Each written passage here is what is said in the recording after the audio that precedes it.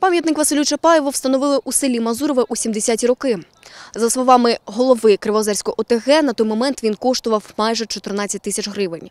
Зараз пам'ятник перебуває на балансі Кривозерської селищної ради. Від початку дії закону про декомунізацію питання про знесення пам'ятника тут підіймається вперше. Інформацію про пам'ятник оприлюднила громадська організація Декомунізація Україна. Фото надіслав анонімно місцевий житель. Голова організації Вадим Позняков каже, споруда Василя Чапаєва підпадає під дію закону про декомунізацію. Він учасник встановлення взагалі радянської влади, створення радянського союзу. Він воював за більшовиків. Так він не був не воював на території України, але цей персонаж не має жодного відношення до України, і окрім цього він мав відношення до створення СРСР.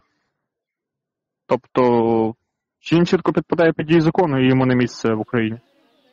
Проте іншої думки деякі жителі села Мазурове. Василь Максимчук живе тут з 1963 року. Каже, у дитинстві мав прізвисько Чапаєв, так батько назвав, і вважає пам'ятник місцевою реліквією.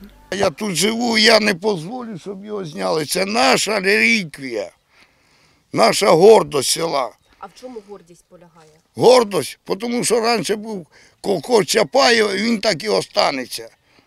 А він був полководцем. Хай буде там, як він не був чим. Ну я зараз не признаю ту історію. А він був. Питання про демонтаж пам'ятника порушив на зборах села за участі старости та голови Кривоозерської громади. Думки розділилися. Ірина Кобильчак виступає за знесення пам'ятника. Жінка працює вчителькою історії. Говорить, особистість Василя Чапаєва жодного відношення до села Мазурове не має.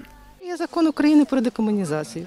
По-перше. По-друге, Чапаєв, командир дивізії стрілецької, там пізніше її назвали 25-ї Чапаєвської дивізії російської більшовицької армії.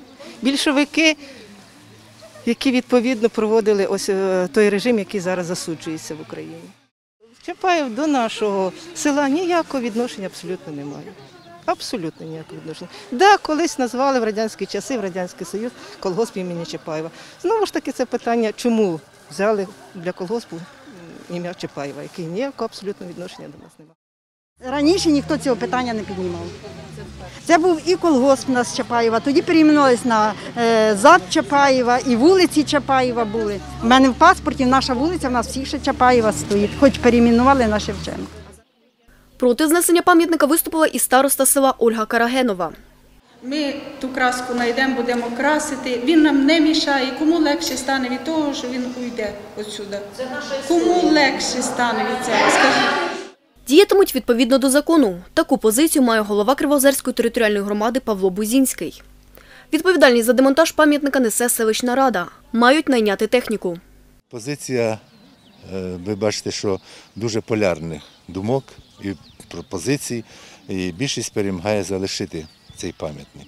Як історична спадщина колишнього Радянського Союзу. Е, Жителі е, розповідають, що вони і виросли на цих традиціях, але е, я вважаю, що закон превише всього, і громаду будемо старатися переконувати в тому, що ми живемо в незалежній іншій зовсім державі, імені якій незалежна Україна. Питання про знесення пам'ятника винесуть на сесію селищної ради 30 листопада. Планують створити музей під відкритим небом, де й розмістять скульптуру Чапаєва. Це теж порушення закону насправді, бо музе... ну, музей, який складається з одного Чапаєва, це фарс. Тобто вони можуть таким чином просто довести до того, що пам'ятник вони е, з постаменту поставлять десь поруч, поїдуть, е, прийде якась патріотична громадськість і відіб'є їм голову. На цьому все і закінчиться. Ми все ж таки звернемося з рекомендацією передати це в Путивльський музей. Е, там якраз найбільша кількість комуністи... пам'ятників комуністичного періоду.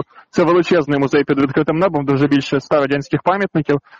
От там воно було б доречно, бо це дійсно музей. А це, а те, що вони хочуть зробити, це просто фарс. Світлана Кльосова, Юлія Філімон. Новини на Суспільному. Миколаївщина.